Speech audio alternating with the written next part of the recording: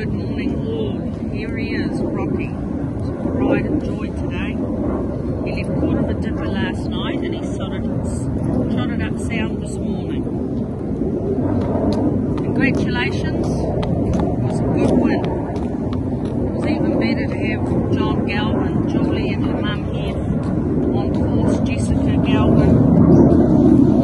It's lovely to have owners here when they win. Jump not too bad, and he got caught three wide in fifth position. Then on the turn, he was loomed up. He started his run five wide at 500 into the straight. He hit the lead at the 250, and he was just too strong. He went away nicely.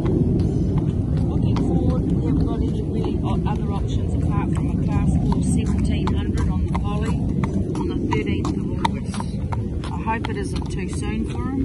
But as I said, he seems to have trotted up good this morning, so we'll aim for that on the 13th of August.